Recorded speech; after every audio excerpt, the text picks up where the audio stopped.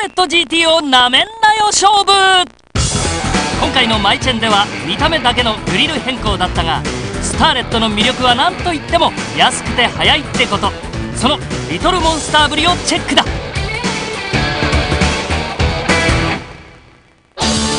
兄貴分の車たちを相手にスターレットがどこまで行くかってことでライバルを持ち込んでみた。1.6リッタークラスからは170馬力のシビック SIR と175馬力のアスティ RX のハイパワー FF スポーツ。1.6からはもう1台。ポテンシャルが気になる存在としてロードスター B スペックだ。この車はパワーアップを望んでいる1.6リッターのロードスターユーザーを対象にマツダスピードが始めた完全パックシステムのメカチューンでプラス24馬力。速さでは勝負にならなかったロードスターをどこまでポテンシャルアップさせているか。さらにちょっとでも迫ることができたら万歳万歳という存在としてシルビア・ケーズがエントリー。今回のスターレットのマイチェンで注目なのは TRD パーツがディーラーオプションになったこと。ということでディーラーで作ったジムカーナ仕様が助っ人参加。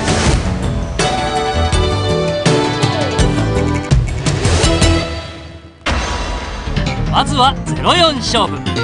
ノーマルスターレットが敗れたら TRD が再挑戦という形式だ。スターレット担当は土屋圭一ライバルは大井が担当。おいちゃんその車どう？これすごいよ。B スペック、えー、60万円のエンジンチューンでちょっとタコメータータコメータータコメータータコメータータコメーター、おお結構いい音してるじゃん。これちょっとすごいよ。1600のチューニングカーロードスターこれは1.3リッター。ね？なめんなよ。4000回転で半クラスタートだな。ガンさん立ち会いのもとスタート。あんなにホールスピンさせてんだバカ野郎なめんなよ1.3を。え？こんなものぐらいで変な発行してやがって。いけいけ土屋スターレット。一台勝ち抜き。よし偉い。スターレットは偉いぞ。ややホイールスピンを起こしながら加速状態につなげるこの技術が難しいんだな。うん。技術じゃないよ。ホールスピン全開でしてたよ。さあ次はシビックだ。大丈夫？で VTEC はちょっと侮れないものがあるね。さっきは4000回転でホイールスピン起きたから3600にしよう。3600半クラスタート。お抜群のスタート抜群のスタート。抜群のスタート。あんだおられじゃねえな。ほらほら。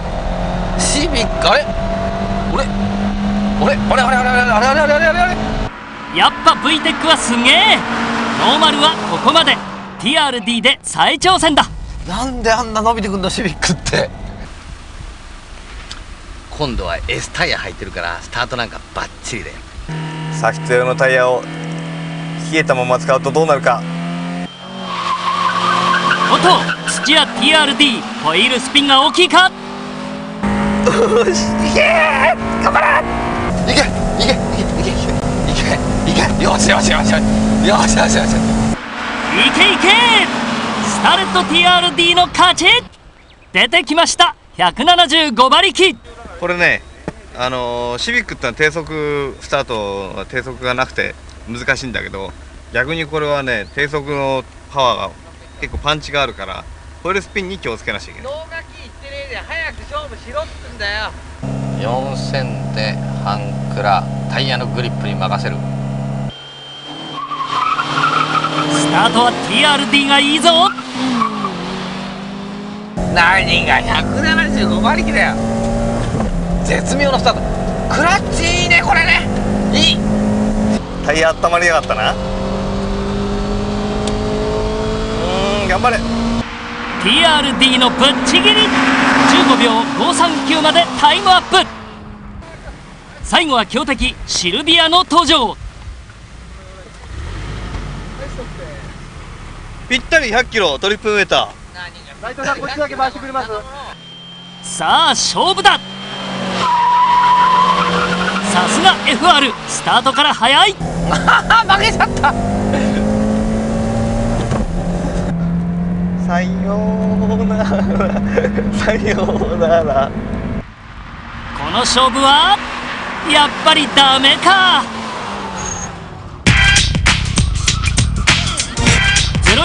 タはご覧の通り。1.3リッターで15秒台。スターレットは元気がいいぞ。